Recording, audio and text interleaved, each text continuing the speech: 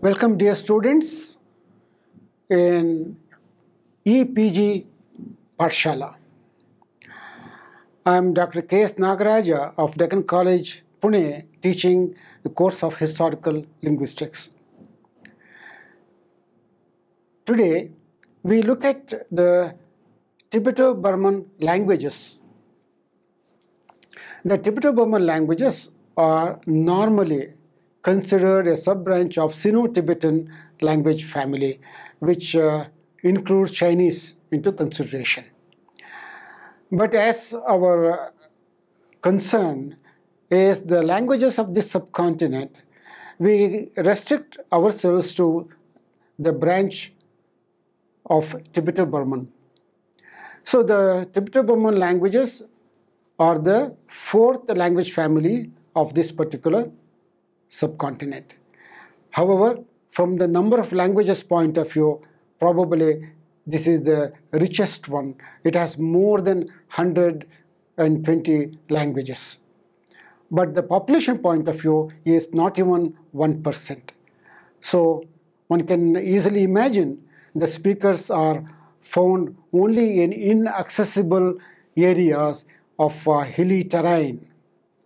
So not much work has been done in this family. So in this course, we try to see what is known till today. The Sino-Tibetan family includes the Sinitic branch and Tibeto-Burman languages spoken in the almost whole of China, Western Himalayas, and in the highlands of Northeast India. This is the second largest family in terms of the number of speakers after Indo-European family. The Sino-Tibetan family is mainly composed of two sub-branches, Sinitic, which uh, includes Chinese and related languages, and the rest Tibeto-Burman. In this lecture, attention is mainly given to the Tibeto-Burman branch. In India, Tibeto-Burman languages are spoken along the great Himalayan mountain ranges right from Ladakh in the north to the northeastern states up to Tripura, Burma, Bangladesh. Sino-Tibetan languages were known for a long time by the name Indo-Chinese, which is now restricted to the languages of Indochina. Tibeto-Burman languages number more than 400 of which are spoken throughout the highlands of Southeast Asia as well as certain parts of far East Asia and South Asia. The name derives from the most widely spoken of these languages, namely Burmese with over 32 million speakers and Tibetic or Tibetan over 8 million speakers. These languages also have extensive literary traditions dating from the 12th century and 7th centuries respectively. Most of the other languages are spoken by much smaller communities and many of them have not been described in detail so far. During the 18th century, several scholars noticed parallels between Tibetan and Burmese, both languages with extensive literary traditions. In the following century, Brian Hodgson, Hodgson collated a wealth of data on the non-literary languages of the Himalayas and northeast India, noting that many of these were related to Tibetan and Burmese. Others identified related languages in the highlands of Southeast Asia and southwest China. The name Tibeto-Burman was first applied to this group in 1856 by James Logan, who added Karen in 1858. Charles Forbes viewed the family as uniting the Gangetic and Lohitic branches of Max Muller's Turanian, a huge family consisting of all the Europe, Eurasian languages except the Semitic and Aryan and Chinese languages.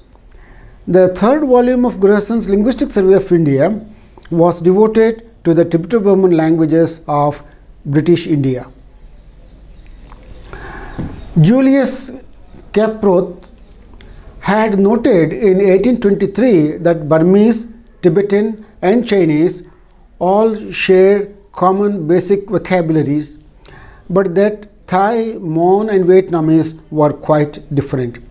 Several authors, including Kuhn in 1883 and August Conrady in 1896, described an Indo-Chinese family consisting of two branches, Tibeto-Burman and Chinese Siamese. Jean Przyluski introduced the term Sino-Tibetan. The link to Chinese is now accepted by most linguists with a few exceptions such as Roy Andrew Miller and, uh, and others. More recent controversy has centered on the proposed primary branching of Sino-Tibetan into Chinese and Tibeto-Burman subgroups. In spite of the popularity of this classification, first proposed by Kuhn and Conrady and also promoted by Paul Benedict in 18, 1972 and later James Matisoff, Tibeto-Burman has not been demonstrated to be a valid family in its own right. So a overview can be provided. First of all, the Tibeto-Burman languages have evolved from the ancestral language, probably what can be called Proto-Tibeto-Burman, in vastly different ways and at their own pace, in accordance with the geographical and social contexts, both in Central and Southern Asia. Some tribes have been stationary, others have swept over huge areas. In fact, if you look at the distribution of these people, we, we start from somewhere in the upper reaches of uh, Ladakh in the west and move on the Himalayan belts to the easternmost, almost up to Burma. So this is a huge area where the Tibeto-Burman languages are spoken. Uh, from Himachal Pradesh, we may identify Ladakh, Himachal Pradesh, Uttaranchal. Then we have uh, uh, Bihar, for instance, West Bengal. Then Arunachal Pradesh, Nagaland, Manipur, Mizoram, Tripura, Assam. So a huge area where these people are living and obviously they are under contact of the local people so that has some impact on their languages as well. As a result, conservative or archaic features do not occur in only one contiguous part of the language area and innovations in other. We cannot separate them. They're all mixing type because of the nature. Most of the Tibeto-Burman languages are spoken in inaccessible mountain areas and many are unwritten, which has greatly hampered their study. It is generally much easier to identify a language as Tibeto-Burman than to determine its precise relationship with other languages of the group. These subgroups are here surveyed on a geographical basis. The most widely spoken Tibeto-Burman language is Burmese, the national language of Myanmar with over 32 million speakers and a literary tradition dating from the early 12th century. It is one of the Lolo Burmese languages, an in, in, intensively studied and well-defined group comprising approximately 100 languages spoken in Myanmar and the highlands of Thailand, Laos, Vietnam, and southwest China. Major languages include Lolo, the Loloese languages with 2 million speakers in western Sichuan and northern Yunnan, the Akha language and Hani languages with 2 million speakers in southern Yunnan, eastern Myanmar, Laos and Vietnam and Lisu and Lahu in Yunnan, northern Myanmar and northern Thailand. All languages of the Loloish subgroup show significant Austroasiatic influence. The Bailang songs transcribed in Chinese characters in the first century appear to record words from a Lolo Burmese language but arranged in Chinese order. Modern Standard Burmese has undergone a set of radical changes. Initials S and, and Sh have become Sa and Sh. Sa has become Th. Ya and R have coalesced as Ya and Kya and Kr as a palatal Ch. Furthermore, all final consonants except nasals have coalesced as glottal stops and all nasals have resulted in nasalization of the preceding vowel. In addition, the quality of vowels has been greatly altered, as was the case in Tibetan. In splits of great phonetic changes, grammatical categories are close to those scholars envisage for Proto-Tibeto-Burman. Cases of nouns and aspects of verbs are expressed through postpose particles. Study of the Burmese writing system in combination with comparative work makes possible the reconstruction of Old Burmese. The language of the Myazedi inscription of 1113 is close to close in its sound system to written Burmese in its present form which dates back to at least 15th century. The writing system was taken over from the Mon people who had developed their writing from Pyu, a Sino-Tibetan language known in Burma from around 500 AD. It is alphabetic of an Indian type but represents a separate southern line of development. Old Burmese is phonetically further further from Proto-Tibeto-Burman than is Tibetan. Initial clusters are mostly gone but are felt in the development of initial consonants. Some clusters with w and liquid sounds were retained. The tonal system of Burmese, unlike that of Tibetan, developed to compensate for the loss of final features. Over 8 million people in the Tibetan plateau and neighboring areas of Baltistan, Ladakh, Nepal, Sikkim, and Bhutan speak one of several related Tibetic languages. There is an extensive literature in classical Tibetan dating from the 8th century. The Tibetic languages are usually grouped with the smaller East Bodish languages of Bhutan and Arunachal Pradesh as the Bodish group. Tibetan.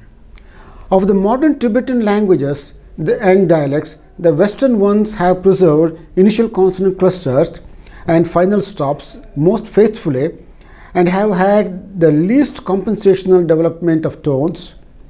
Most central languages and dialects, including Lhasa, have lost all consonant clusters and final stops and in the process have acquired a larger inventory of single consonants and a system of tones. These changes and reductions are linked to a similar reshaping of certain grammatical processes of word formation that now operate only through suprasegmental and syllabic elements. To a surprising degree, however, modern Central Tibetan possesses grammatical categories identical with or very similar in content though not in form to those of classical Tibetan. The relationship of nouns to the main verb is indicated through post-post particles, the agent of a transitive verb indicated as the one by whom the action is performed and the subject of an intransitive verb expressed as the object or goal of the action. Nominal modifiers precede the nouns and verbal modifiers follow them. The main verb, always placed after all nouns, is followed by particles expressing aspect and tense. Old Tibetan pronunciation can be reconstructed by comparison of modern dialects and through the very conservative alphabetic script of Indian origin that goes back to the 7th century AD and found its present form in the 9th century. The orthography is far more removed from present day standard Tibetan pronunciation. Old Tibetan is one of the most archaic of the Tibeto-Burman languages. It retained Tibeto-Burman final stops and final ra, la, sa and also the initial voice consonants. Many old Tibetan consonant clusters may be referred to Proto-Tibetan. The case particles and complicated verbal conjugation perhaps represent an elaboration on somewhat simple tendencies in the proto-language. Distribution of Tibeto-Burman languages. A wide variety of Tibeto-Burman languages are spoken on the southern slopes of the Himalayas. Sizable groups that have been identified are the West Himalayan languages of Himachal Pradesh and Western Nepal, the Tamangic languages of Western Nepal, including Tamang with 1 million speakers, and the Kiranti languages of Eastern Nepal. The Newar language or the Newari of central Nepal has a million speakers and a literature dating from the 12th century and nearly a million people speak Magaric languages, but the rest have small speech communities. Lepcha is spoken in an area from eastern Nepal to western Bhutan. Most of the languages of Bhutan are Bodish. The Tani languages include most of the Tibeto-Burman languages of Arunachal Pradesh and adjacent areas of Tibet. The remaining languages of Arunachal Pradesh are much more diverse, belonging to the small Siangic, Khobwa or Kamengic, Hruso, Mizu and Digaru languages that are Mishmic groups. These groups have relatively little Tibeto-Burman vocabulary and uh, Blench and post dispute their, their inclusion in Sino-Tibetan itself. The greatest variety of languages and subgroups is found in the highlands stretching from northern Myanmar to northeast India. Northern Myanmar is home to the small Nungish group as well as the Kachin Luic languages including Jingpo with nearly a million speakers. The Brahmaputran or Sal languages include at least the Bodo Koch and Konyak languages spoken in an area stretching from northern Myanmar through the Indian states of Nagaland, Meghalaya and Tripura and are often considered to include the Kachin Luic group. The border highlands of Nagaland, Manipur and western Myanmar are home to a small Awo Angami, Pochuri, Tangkhul and Zeme groups of languages as well as the Karbi language. Meitei, the main language of Manipur with 1.4 million speakers is sometimes linked with the 50 or so Kukish or Kukichin languages spoken in Mizoram and the Chin state of Myanmar. The Muru language is spoken by a small group in the Chittagong hill tracts between Bangladesh and Myanmar. Classification There have been many attempts at grouping these languages at the highest level as well as at sub branch levels as well. Here only a few are mentioned. First detailed grouping was by Grierson 1909. His classification was supposed to be geographical contiguity than linguistic followed by Shafer's classification. There have been two milestones in the classification of Sino-Tibetan and Tibeto-Burman languages, Shafer, Shafer 1955 and Benedict 1972, which were actually produced in the 1930s and 1940s respectively. Grierson classified Tibeto-Chinese family into the Siamese Chinese subfamily of which Khamti is a representative spoken in India and the other branch is Tibeto-Burman. This sub-branch is subdivided into the following Tibeto-Himalayan branch, the North Assam branch and the Assam Burmese branch. Tibeto-Himalayan branch is further divided into the, the Tibetan group, the pronominalized Himalayan group, which, in, which is further divided into the western subgroup and the eastern subgroup and the non-pronominalized Himalayan group as well. All the subgroups have innumerable small and big languages and dialects under them. Shafer based his classification on specific data and divided the Sino-Tibetan family into six divisions his tentative classification did not recognize Tibeto-Burman but placed Chinese, that is Sinitic, on the same level as the other branches of a Sino-Tibetan family. He retained Thai Kadai or Daic within the family, allegedly at the insistence of colleagues despite his personal belief that they, they were not uh, related. So the the branching the the languages of Sino-Tibetan are listed. Then we move on to Benedict's classification, a very influential, although also tentative classification is that of Benedict, which was actually written around 1941. Like Shafer's work, this due on the data assembled by the Sino-Tibetan philology project which was directed by Shafer and Benedict in turn. Benedict envisaged Chinese as the first family to branch off followed by Karen. So here uh, we have the uh, languages uh, as per uh, this particular classification. The Proto-Tibeto-Burman language is the reconstructed ancestor of the Tibeto-Burman languages among other researchers, Paul Benedict and James Matisoff have made proposals for the reconstruction of uh, this language. Phonology. The phonology of Proto-Tibeto-Burman here is from Matisoff 2003 reconstruction, much of which is based on Benedict's earlier reconstructions. Consonants.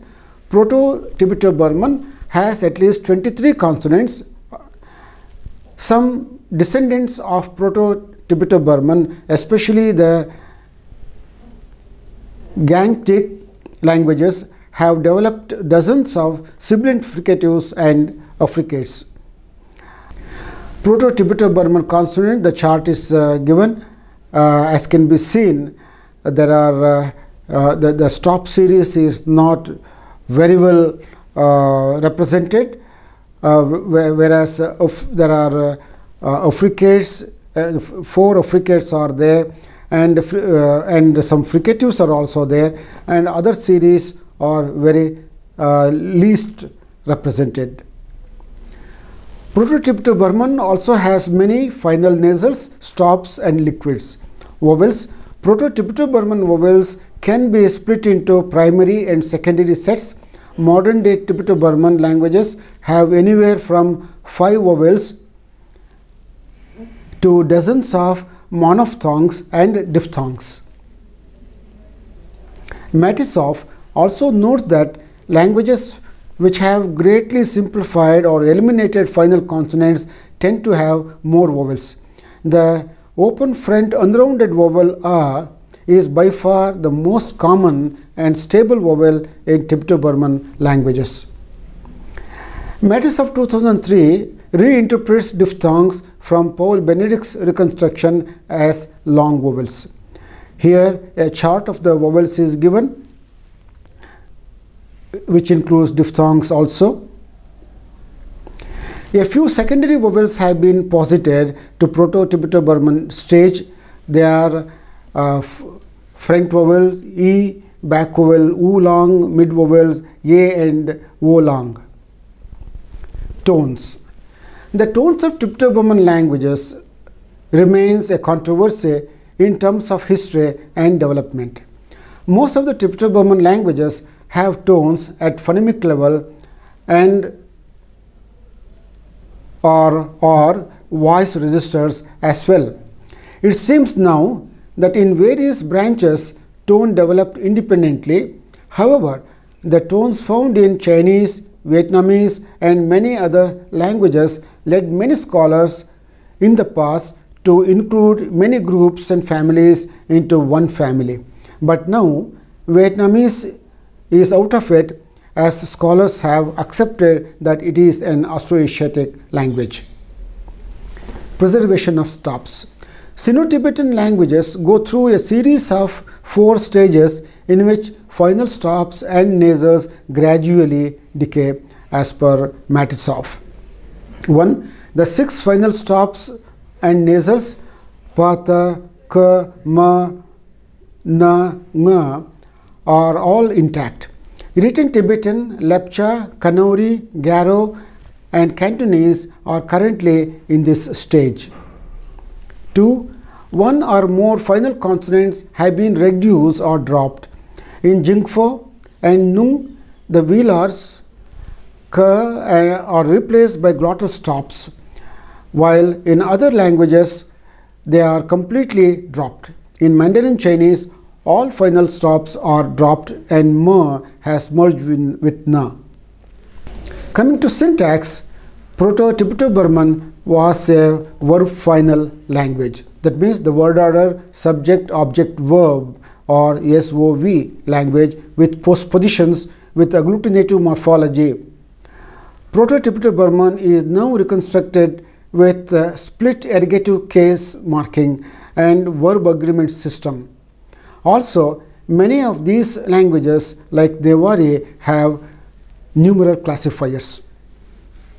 Pronominalization is an uh, unique feature of some of the Himalayan languages like Bantawa, Rai, Limbu, etc. A very complex morphology is there, the various syllabic structures available, uh, various uh, prefixes and suffixes available are mentioned. According to many authors such as James Bauman, Van and others, a system of verbal agreement should be reconstructed for Proto-Tibeto-Burman. There are lots of prefixes and equally suffixes are very significant. A list has been given. Then we come to the end, uh, uh, at the last is the vocabulary. The Tibeto-Burman languages possess rich and varied vocabulary. In the older stages of Sino-Tibetan, the distinction of verbs and nouns appears unclear. Many Tibeto-Burman or Sino-Tibetan languages have a numeral classifier systems. Various researchers have proposed reconstructed vocabulary items one resource for Matisoff's proposals for Proto-Tibeto-Burman vocabulary reconstruction is a Sino-Tibetan etymological dictionary and thesaurus based at the Department of Linguistics at the University of California, Berkeley, USA. To summarize then, the knowledge of these Tibeto-Burman languages is not much enough to provide a systematic comparison of these languages, even not to provide a, a comparative dictionary or comparative grammar. Of, of course, there are various attempts like of Matisoff's, but that is not uh, enough because uh, taking all the languages spoken in the northeast India, we need a comprehensive work on these languages, then only uh, the situation will become clear. So the students are advised to study these languages in greater detail and look at uh, uh, the possibilities of their contribution in the other languages as well, the influences of uh, Tibeto-Burman languages on the local either Indo-Aryan languages or Austroasiatic languages as well. Thank you.